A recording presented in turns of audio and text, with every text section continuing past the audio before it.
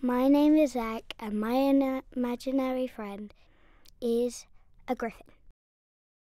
He's got a red eagle head, a orange horse body, and also he's got a blue magic star at the um, hip of his last leg, and he's got blue wings, and yeah.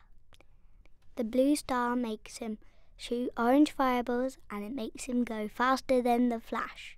Red is my favourite colour, and orange is my third, and blue is my second. He lives in my toy box. He goes small when I put him away, and then he grows about up to my uh, shoulder, and that's how big he can get.